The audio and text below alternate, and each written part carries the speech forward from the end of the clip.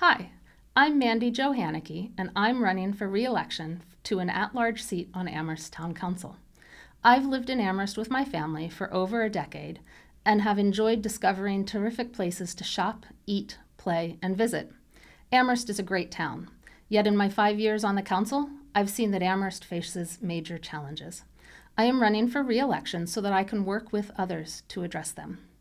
Experience matters when tackling big issues.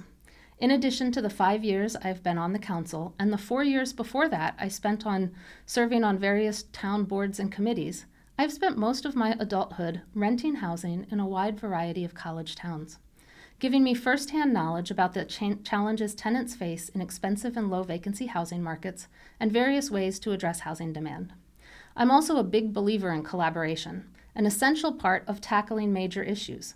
As a councilor, I have sponsored measures with nearly all of my colleagues, working together to find solutions on issues we care about, even if we don't agree on other matters. Being a successful councilor requires compromise, working with those that you might not agree with, and putting aside differences for the good of the town. And my record shows I can do that. In my time on the council, I've not been content to just talk about what needs done. When I see a problem, I propose legislation that I will believe, uh, I believe will address it in a positive way. Just this term, I have co-sponsored legislation to increase the amount of money available for affordable and attainable housing projects, worked with councilors Taub, Miller, and Rooney to put rental permitting reform at the forefront of the council's agenda, and proposed zoning changes aimed at increasing the availability of duplexes and triplexes in town. While the zoning legislation was withdrawn, it spurred crucial conversations both in town and at the planning board about addressing our housing crisis. Those conversations continue to this day. Other measures I've co-sponsored focus on improving our street lighting to increase safety and reduce negative health effects and protecting healthcare access. I've always been willing to step in and do the work to get things done, because without that, we don't improve.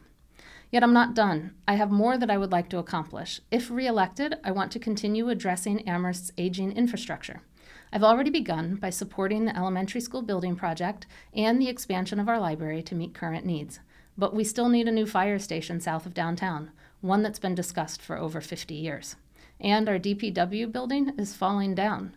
In the next term, I hope to make progress on both projects.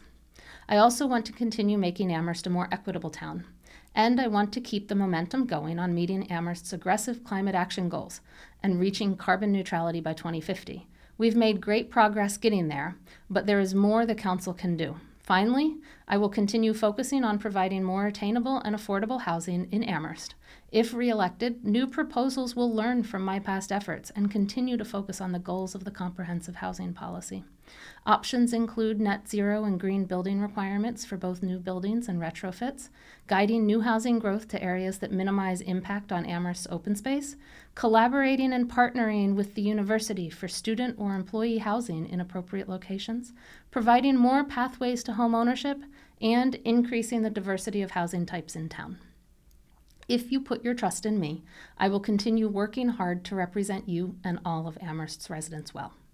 Please vote for me, Mandi Jo Hanneke, for Town Councilor at Large when you vote this fall, either by mail in ballot, voting early at Town Hall, or voting on November 7th. Thank you.